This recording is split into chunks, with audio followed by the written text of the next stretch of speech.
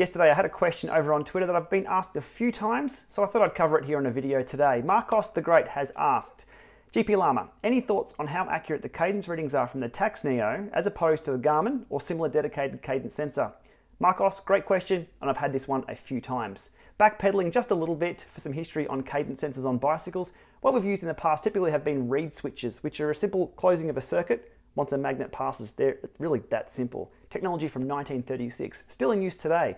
An example of one of those units still for sale today would be the Tacx speed and cadence sensor here, speed and cadence, both reed switches, and you can hear when I pass a magnet near the speed sensor.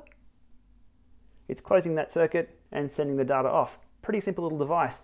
More recently, we've seen accelerometers on uh, cranks, so something like this little Bluetooth Ant Plus compatible one here and another one here that simply stick on your crank and as they move around, it's a digital accelerometer, so it sort of knows where it is in time and space and knows when you've turned the crank. They're pretty cool tech. But over to the smart trainers though. How does a smart trainer actually calculate your cadence without a sensor? Tacx themselves have a really good explanation of how things work on their trainers on this defining cadence section of their website. So, defining cadence, interactive trainers of Tacx measure your cadence without the help of a sensor. That's exactly why we're looking at this. The trainer is constantly aware of this, your speed and uses this to determine your cycling movement. This is translated into English, so it might not be quite correct, but the concept is spot on. The speed is zero at the top of the pedal stroke and is maximal in between. My interpretation of that is they're talking about the dead spots on your pedal stroke. So all the smart trainer knows is the tension on the chain. It knows there's lower tension during the dead spot and maximal tension during each downstroke or downward stroke. And because there's two of those per revolution, you can see there the two oscillations. When it counts two, that's one cadence registered. So pretty simple the way to do it. Not just Tacx that do this, there's other smart trainers out there that choose to estimate or calculate your cadence based on this. So it's not purely guesswork, it is computed, I guess you'd call it, uh, based on mathematics and some pretty cool sensitivity in the system. Um, jumping over here to DC Rainmaker's analysis tool, my favorite website on the internet. Here is a session that I've done looking at the Tacx Neo Smart Trainer cadence, the Garmin Vector 3 cadence, and the Rotor 2INpower cadence.